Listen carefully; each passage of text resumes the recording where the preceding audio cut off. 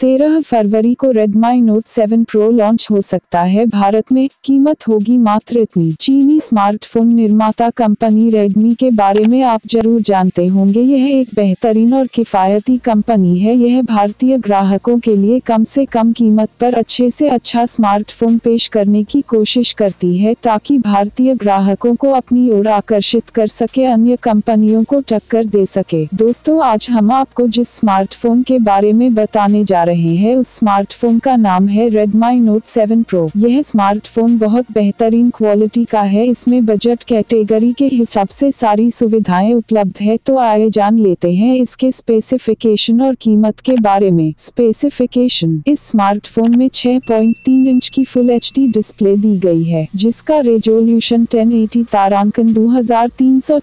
pixel का है बेहतर परफॉर्मेंस के लिए दो गीगा का ऑक्टा कोर प्रोसेसर दिया गया गया है इस स्मार्टफोन में डाटा को स्टोर करने के लिए चार जीबी रैम तथा चौसठ गीगाबाइट का आंतरिक स्टोरेज दिया गया है जिसे आप माइक्रो एस कार्ड की सहायता से दो